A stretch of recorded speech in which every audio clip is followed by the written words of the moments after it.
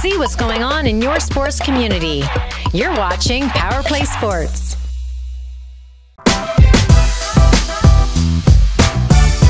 It really doesn't matter where I play.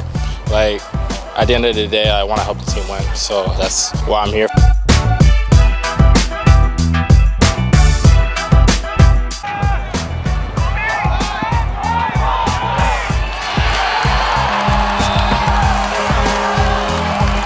Gave me ability to do what I'm doing. I'm doing it at a high rate. It's good to be back. It's really important because it takes off like a lot of pressure from us, knowing that um, NZ being able to fill in and be able to take that role, you know, because we didn't really have a dominant game in the passing game, but when we did, NZ showed up big, scored a big touchdown for us, and it just helps us out a lot to spread the ball. We had Holmes, and it's a big hole in the lineup, but you replace him with an equally good athlete in, in NZ, and uh, he can do some things that most kids in the league can only dream of with his movement skills.